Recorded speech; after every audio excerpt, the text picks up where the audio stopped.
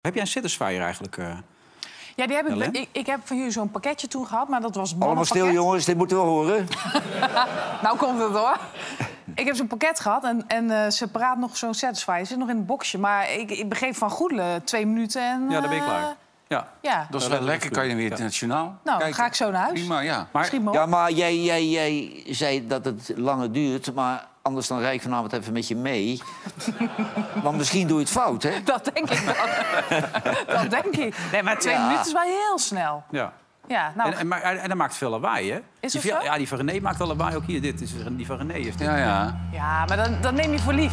Ja, dit is Dat echt- lawaai neem je gewoon voor lief. Ja? Nee, die bij je ons is hard, die gaat harder dan de wasmachine. je moet wel even... Je moet hem dus op de clitoris zetten. hè. Dus je moet thuis wel even je bril opzetten. Dan. Want anders zit je de, de hele tijd naast. je moet wel even je brilletje op. Maar ik heb toch dat verhaal wel eens verteld... dat ik vroeger een vriendinnetje, die had, die had vlak bij de clitoris... een fratje. Ja, Ja, ik heb een half jaar het verkeerde ding zitten krabbelen.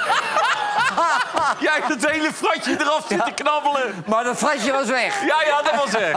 Ook lekker.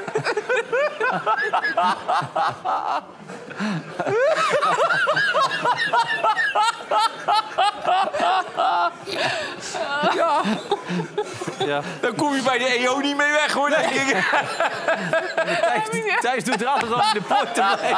Hey, wat leuk. Hey, voor de duidelijkheid, Thijs, jij, Maar voor Thijs, je nieuwe- mag ik even. Thijs, mag Thijs Ja. even wat vragen? Ja. Thijs, begrijp je nu waarom dat wij meer kijkers hebben? Je zou het dus kunnen proberen in een uitzending, maar ik weet niet zeker of dat gaat werken.